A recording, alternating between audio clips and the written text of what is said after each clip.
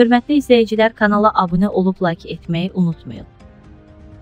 Sosial paket dövlət büdcəsindən maliyyələşən vətəndaşların əmək haqlarının artırılmasına xidmət edəcək. Əmək haqqı və pensiyalar sektordan asılı olaraq 20-40% arasında artırılacaq. Burada artım olaraq kifayət qədər böyük rəqəmlə ifadə olunacaq artımlardan söhbət gedir. Oxu24.com xəbər verir ki, bu sözləri millət vəkili Vüqar Bayramov AR24-də yayımlanan iş vaxtı verilişində bildirib. Deputat əlavə edib ki, orta aylıq əmək haqqının və pensiyaların artması ilə sosial proqramlara ayrılan vəsaitin həcmini artırmış olacaq.